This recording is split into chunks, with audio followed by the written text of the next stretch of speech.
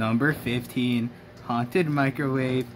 This discovery was found when two idiots bought TGI sliders from Pick 'n Save and tried microwaving it in one of the kids' aunt's basement.